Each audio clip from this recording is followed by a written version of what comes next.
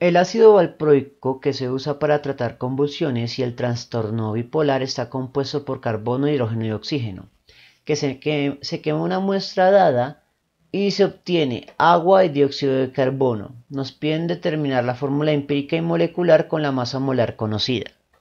Vamos a resolver esto por factor de conversión y por teoremas de álgebra. Mediante el enfoque de calcular los subíndices de forma directa. Entonces vamos a comenzar. Recordemos que aquí debemos hacer el análisis de carbono y su reservorio que es el dióxido de carbono. Luego deberemos hacer el análisis de hidrógeno y su reservorio que es agua. Y finalmente el oxígeno va a ser el elemento de cola.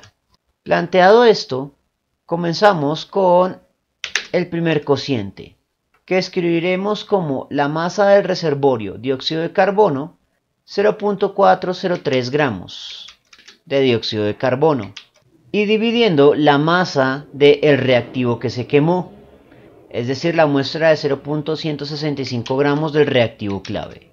Luego vendrían dos factores de conversión,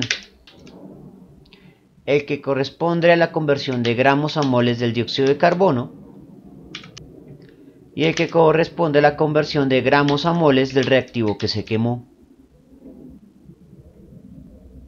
El mol lleva la unidad teórica y los gramos son las masas molares respectivas. Para carbono 44.01, para el reactivo clave 144. Luego viene un factor de conversión extra que me vincula una mol del dióxido de carbono con eh, los moles de carbono presentes en el dióxido de carbono que es un 1. Resolvemos este análisis dimensional, gramos de dióxido de carbono que multiplican y dividen, gramos del reactivo clave que multiplican y dividen, una mol del dióxido de carbono que multiplica y divide se cancela. El resultado se expresa como una mol del reactivo clave dividiendo y los moles del elemento multiplicando. Y operamos la aritmética. 0.403 por 144 sobre, abre paréntesis, 0.165 por 44.01. El resultado 799 se redondea a 8. Para el hidrógeno tendremos lo siguiente. El cociente entre la masa dada de ese reservorio que es agua, 0.166 gramos de agua. Multiplicando y dividiendo pues la misma masa del reactivo clave que se quemó. Multiplicamos por los dos factores de conversión que son las conversiones de gramos a moles. Entonces gramos de agua a moles de agua y gramos del reactivo a moles del reactivo, pero ya lo tenemos en la, en la parte anterior. Luego viene un factor de conversión más. Bueno, pero antes de eso, una mol de agua contiene 18.02 gramos de agua. Ahora sí, una mol de agua contendrá 2 moles de hidrógeno atómico. Por lo tanto, podemos hacer el análisis dimensional. Gramos de agua que multiplica y divide, gramos del reactivo que divide y multiplica se cancela. Eh, y también se cancela una mol de agua que multiplica y divide. El resultado se expresa como moles de hidrógeno atómico multiplicando y dividiendo una mol del reactivo clave que se quemó. Y operamos esta aritmética. 0.166 por 144 por 2 sobre abre paréntesis 0.165 por 18.02 siendo el resultado de 16. Hecho esto solo falta el elemento de cola para el cual el procedimiento es un poco diferente. Comenzamos escribiendo una mol de oxígeno multiplicando y dividiendo 16.00 gramos de oxígeno. En el segundo cociente tendremos el resultado de la conservación de la masa expresado en gramos de oxígeno en una mol perfecta del reactivo que se quemó. La conservación de esa masa la expresamos como la masa molar 144 menos la suma ponderada de moles y masas molares de los elementos. Carbono 8 multiplicado por 12.01 más hidrógeno 16 multiplicado por 1.01. En el análisis dimensional de esto tendremos que gramos de oxígeno se cancelan y el resultado se expresa como moles del elemento en una mol perfecta del reactivo. Y operamos esta aritmética. 16 elevado a la menos 1 por 144 menos 8 por 12.01 más 16 por 1.01. El resultado es de 1.9 que redondeamos a 2. Por lo tanto, la fórmula molecular que estamos buscando es C8, H16, O2 y la fórmula empírica sería C4, H8O.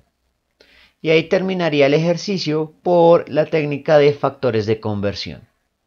Ahora miremos cómo se resuelve por teoremas de álgebra. También vamos a tener que analizar elemento por elemento y sus reservorios correspondientes, teniendo en cuenta que el oxígeno es el elemento de cola. El procedimiento aquí es el siguiente. El subíndice del elemento almacenado en el reactivo es igual al subíndice de ese mismo elemento almacenado en el producto reservorio, multiplicado por un cociente de masas y multiplicado por un cociente de masas molares. La masa del producto va multiplicando, su masa molar va dividiendo. La masa dada del reactivo que se quemó va dividiendo y su masa molar verdadera va multiplicando. Y esto se repite tanto para el hidrógeno como para el carbono, mientras que el oxígeno se debe calcular por la fórmula para el elemento de cola. El subíndice del elemento de cola en el reactivo es igual a 1 sobre la masa molar del elemento de cola por la masa molar real del reactivo menos la suma ponderada de las masas de los no de los subíndices de los elementos por las masas molares de los elementos.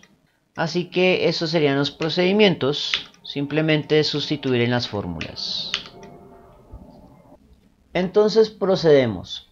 Para carbono, el subíndice del carbono en su reservorio es un 1 la masa dada del dióxido de carbono es 0.403. La masa molar del dióxido de carbono es 44.01. La masa del reactivo que se quemó es 0.165. Su masa molar 144. En el segundo caso tendremos para hidrógeno el subíndice del hidrógeno en el agua es un 2. La masa del producto agua es 0.166. La masa molar del agua es 18.02. La masa del reactivo que se quemó es 0.165. La masa molar del reactivo que se quemó es 144. Por lo, cual, por lo tanto, puedo calcular esos subíndices. Sería 0.403 por 144 sobre abre paréntesis 0.165 por 44.01. El resultado 799 se redondea a 8. Para hidrógeno 2 por 0.166 por 144 sobre, abre paréntesis, 0.165 por 18.02. El resultado es 16. Con esos valores podemos ya hacer el cálculo para el oxígeno. La masa molar del oxígeno atómico es 16.00. La masa molar verdadera es 144. Y seguiría la suma ponderada de subíndice de carbono 8 multiplicado por 12.01 más el subíndice del hidrógeno 16 por su masa molar 1.01.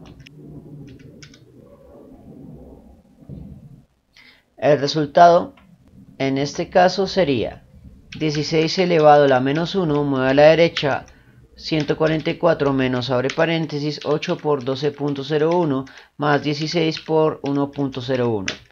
El resultado es de cercano a 2. Por lo tanto, volvemos a obtener la misma fórmula molecular. C8H16O2 y la misma fórmula empírica. C4H8O. Que es lo mismo que se obtuvo por la técnica de factores de conversión. Bien, eso fue todo por el momento. En la descripción del video voy a dejar enlaces a más ejercicios sobre estequiometría del análisis de combustión, así como la alternativa para resolver este ejercicio mediante el enfoque de los números estequiométricos. En el archivo PDF del curso para descarga gratuita. Si les gustó el video no olviden suscribirse, darle like y especialmente compartirlo. Eso mantiene vivo a este canal y nos vemos en una próxima oportunidad.